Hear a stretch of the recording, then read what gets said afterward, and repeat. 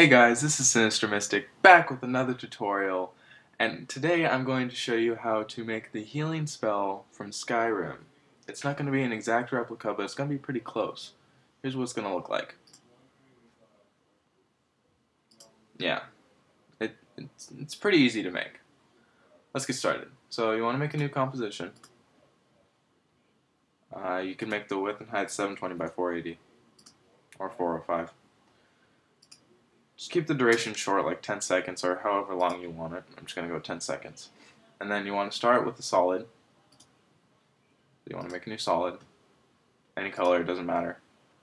Then you want to go to Effect, Simulation, Particle World. Then once you're in this, you want to get rid of the grid. So you want to go under Grids and Guides and get rid of the grid. And then you want to get rid of the axis box and the horizon. You don't need that stuff. So then you want to go to the physics, change the animation to cone axis, hmm. make the gravity zero, and you can decrease the velocity to about 0.20. It doesn't need to be that high. And then go to your particle, change the particle type to lens convex, and you're good for now. So now if you play it, you see you have bubbles. They're going to be whatever color your solid is. So if you want if you want them to be a certain color, just change them, and then they're going to be that color. Of a new solid, sorry, just change the color of your solid and see they change. So let's just make them yellowish for now. Okay. So then, once you have your particle world on there, you want to go to Effect, Blur and Sharpen, and then CC Vector Blur. And then you want to increase it to about 40. Now you want to go to Effect, Blur and Sharpen again, and then Fast Blur. And then you can increase this to 40 also. And it looks decently blurry, so you want to move the fast blur above the vector blur. So you get that, and then if you go back into the particle world, and if you increase the longevity, see how it stretches out, and then you can just decrease the birth rate to about 0.4, and it's like a line. So then you play it, and it looks like steam, kind of. So this is the this is what's going to wrap around your orb for your healing spell. So you have that. Now, alright, now with this, you want to duplicate the solid you have. And then in the physics, you want to decrease the velocity to about negative 0.20. So it looks like you have two lines now, and they grow at the same time. If you're working in CS5 like me, it looks like they're not really connected too well, so you can select the particle world on one of them and then just move it up a little bit so it looks like they're connected more. That looks better. But now you want to go into, you want to make a new adjustment layer. And on that adjustment layer you want to go to Effect, Distort, and then you want to go to Mesh Warp. And now you see all the grids? Now you want to click on click on the intersecting points and then just move them so it looks like so it makes it look like the it's wrapping around a sphere kind of thing. However big your sphere might be or however big you think it's going to be. You just want to make it look like it's wrapping around. Kind of like that Then you can move them over, make them look more centered. Not the adjustment layer, or the adjustment layer. Or you could just leave them there. So with that, it looks good. Now you want to select all the layers, and then you want to go to Composition, sorry, you want to go to Layer, Pre-Composed. You want to move all the attributes into the new composition. And now with that composition, you want to duplicate that and then move them over, and now rotate one so it's the complete opposite of the other one, so it's the opposite direction. Sorry, not rotate, scale. Or rotate. And now you want to line them up so it looks like they're about to be over a circle. That looks awkward.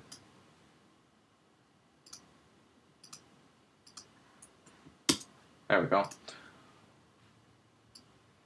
So now they grow and it looks like it's kind of forming a circle.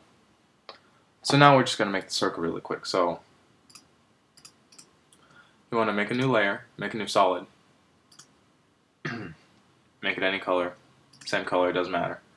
And now you want to go to Effect,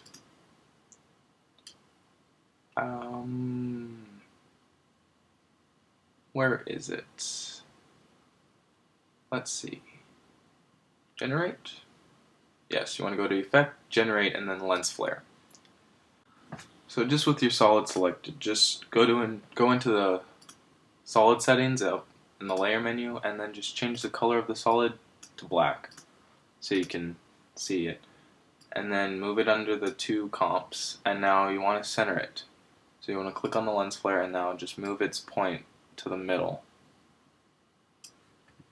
And then adjust the adjust the magic waves like they're going around it more. And now go back into the lens flare on your solid and just decrease the brightness so it's not so bright. And you can leave it at 550 to 300 millimeter zoom.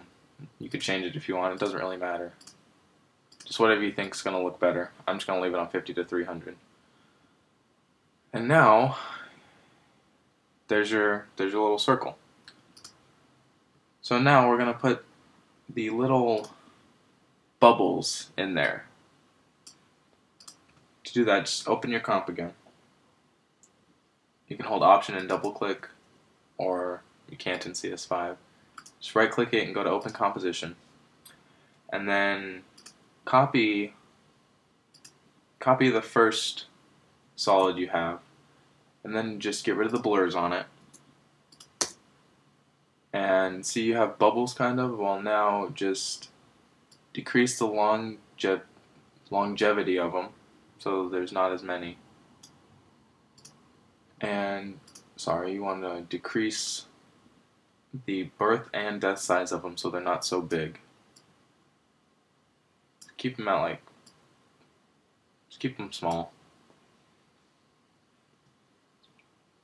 and there you have some at the top. If you want to put them at the bottom, you can. You would just duplicate the one, the solid with the bubbles, and then just change the physics velocity to negative 0.20.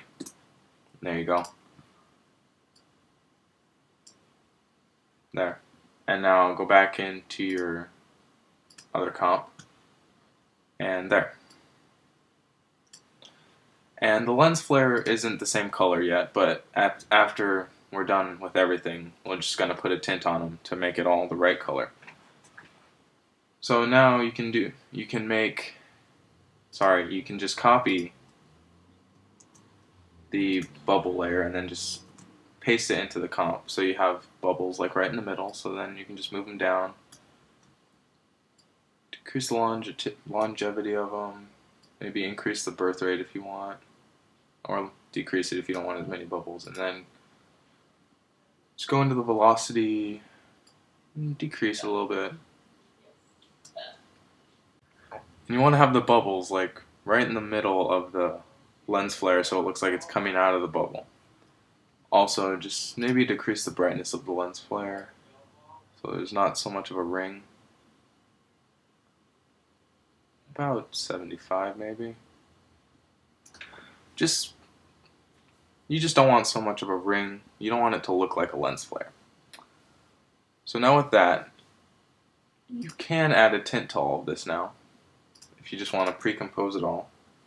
Layer, pre-compose. Move all attributes. And now just go to the Effect, Color Correction, Tint. And you want to do, you want to change the map to white to an orangish yellowish. Hmm. Actually, no. Just get rid of the tint. Now go to Effect, Color Correction, Curves.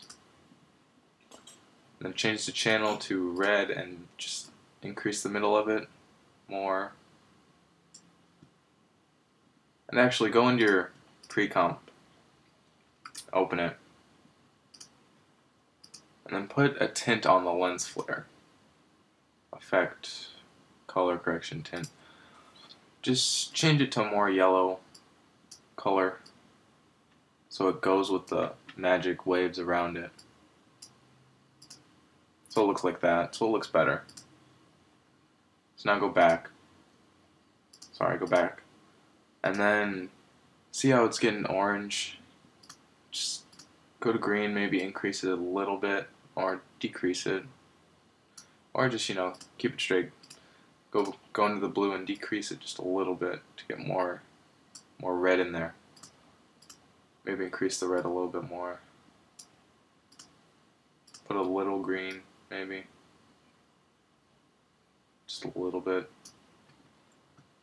So you kind of have the main orb of it. It's getting close. And now we're going to get the rings. The little waves that go around it. Let's go back into your main comp. Where you made the wave. And now just take the first solid you made, copy it, go back into the main comp, and now paste it. And now just rotate it about 90 degrees. And you have a wave. Just increase the longevity of it, maybe. No, don't increase the longevity of it.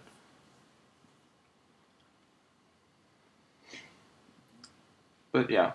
So then with that, you can have it, you want to make both the, want to make both the comps 3D, maybe everything in the comps 3D too, just to be sure it's all good.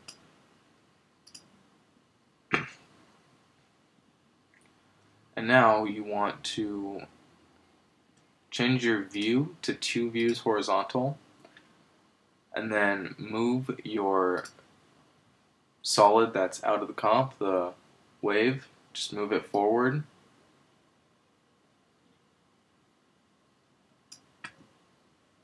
And now, if you look when you go to rotate it, hold on, wait, before you rotate it, you want to press Y or choose the pan behind tool, and you want to change the pan to the middle of the orb and right on the layer, right there right in the middle. Closer to the middle. See? So it's right there. So when you go to rotate the, sorry, when you go to rotate the y-axis, it's going to rotate around the orb. but you see as it rotates around, it gets trapped behind, it gets cut off. Right there. See how it gets cut off? So you just want to right click on the pre-comp and change the blending mode to screen so it doesn't cut it off anymore. So when you rotate it, you can always see it.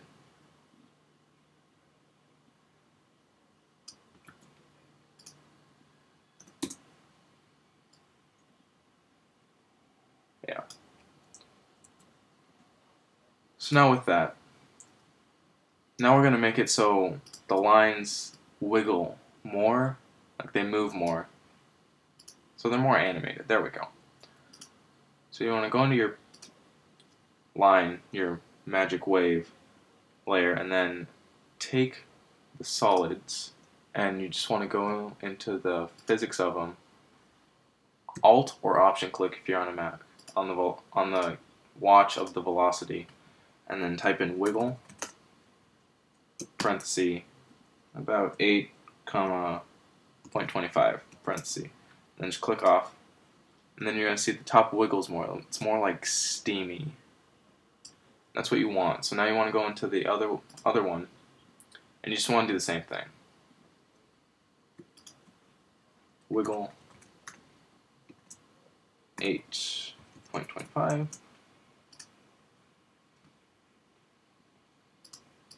I should have made, I should have done this sooner. I forgot about it though. Wiggle. 8. 25. I'm just going to copy it so it's easier.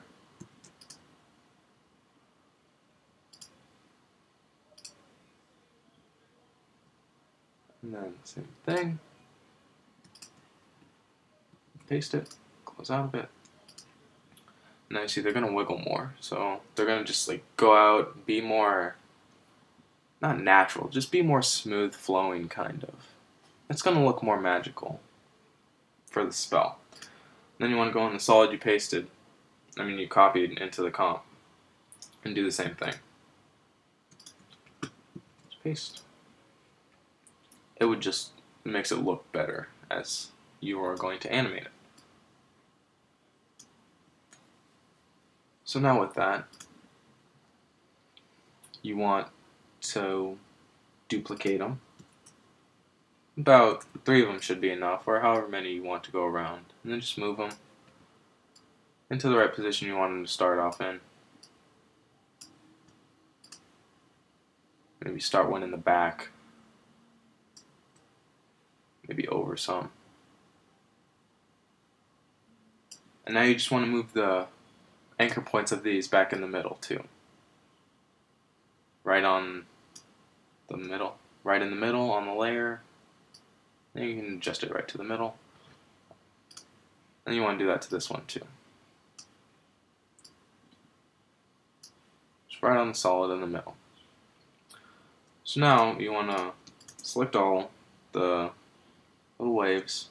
Press R to get the rotation of them, and now you want to keyframe them. To right about, right when they're fully in, right about there. Just click on the stopwatch of the Y rotation, and now go to about a little farther ahead and just increase it.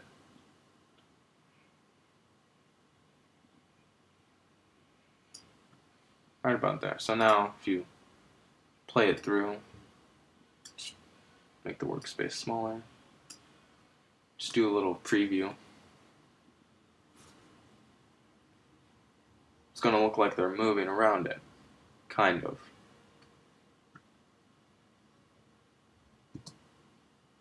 See, just like, just, they're rotating around it. Except for when they get flat right about at their turning point right there. I guess that's kind of a deal breaker for the spell, but still. They do rotate around it. I'll I'll show you how to fix that in another tutorial because this one's getting kind of long. So we're gonna wrap this up right now. So you have them and they rotate, and now we're gonna make it look more more orangey like the spell. So just take all the layers, Go to Layer, Pre-Compose them again. Move all the attributes. It doesn't matter how much you pre-compose. Then you want to go to Effect, Color Correction, and now Tint. And now change the map to white to maybe some orange.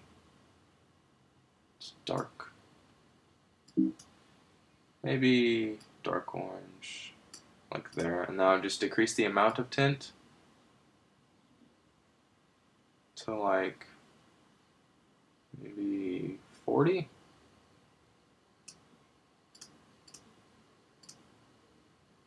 Yeah, 40. Or just get rid of the tint. Don't compose. Just go back and open the compose layer. Guess you didn't need to compose them. Just take the solids, add curves to them or a tint, whichever one's easier for you. and just change the tint to like orange. Or the color of the... Just take the little eyedropper tool and then go to the color of the middle lens flare and click OK and then they should look similar. So if you go out to your main comp, you can also go back to one view. You don't need the second view anymore just maybe add maybe another curves to increase the brightness of the red. Increase it a little bit, make it more orangey like the spell. Like that. There you go. There's your healing spell from Skyrim. Just a little quick way to make it. Well, thanks for watching. That's it for the tutorial. Keep watching my videos. I'll pour, I'll post more stuff, maybe another tutorial on how to do a different spell from Skyrim. Maybe how to track it if you want to use it to in some of the videos you're making. Thanks for watching again. Subscribe if you liked it. Comment, rate, give it a thumbs up. Bye guys.